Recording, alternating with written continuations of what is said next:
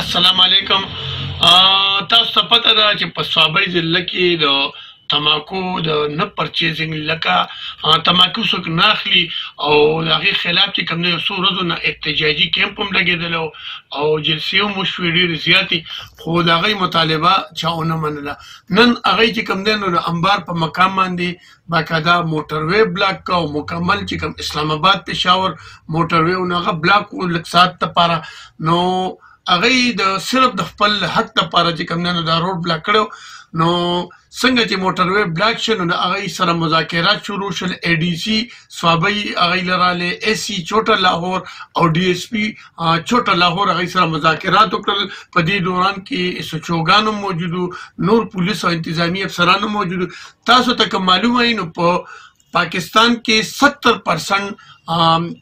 تماکو چې کم دي نو دا په صوابۍ کې پیداوار دي خاص کر زمونږ د تحصیل رزړو خلکو غم او خادي چې سور دي نو د دې ټول ارسه چې کم ده د په تماکو دي الته چې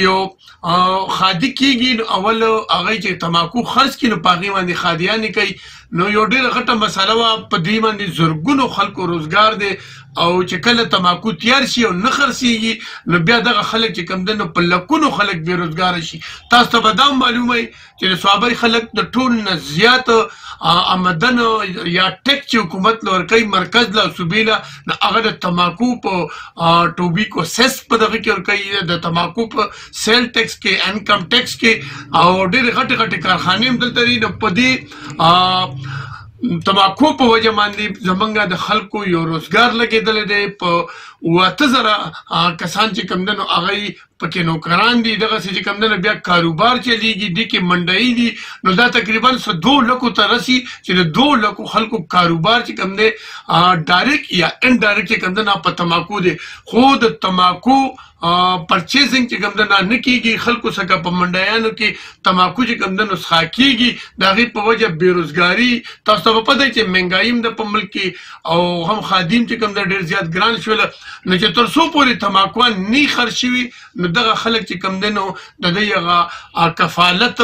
یا دغه یغه چې کوم د کور خرچي دي نه نه برابرږي نو ډیر د افسوس خبره ده چې د بللا ورځو نه احتجاج کوي خو چا ولا احتجاج ته چې کمدنو رانل چا د دې تپوسو نه نو هغه مجبورا چې کمدنو نه نو د انبار په مقام باندې موټروي بلاک د تاسو ویلې په سکرین باندې مکمل په کیلومترو روډونه بندو نو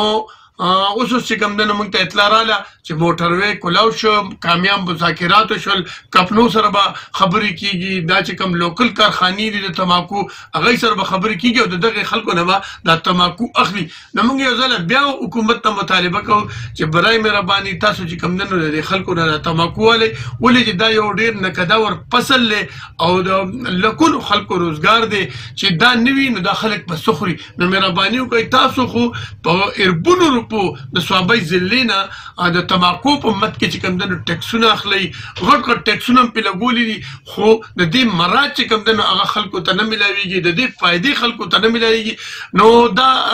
د پاکستان په پا عین کې یو دا لیکل شوی دی چې کوم ځای کې یو شی پیدا کیږي په کار دی چې هغه رالټي هغه فائدې چې کوم دی د خلکو لور کې نو روډ کولاو شو موټروي د ټریفیک پولیس د ټریفیک پولیس هم راغلو د موټروي پولیس هم راغلو خو په کار دی چې د دې مطالبات حل شي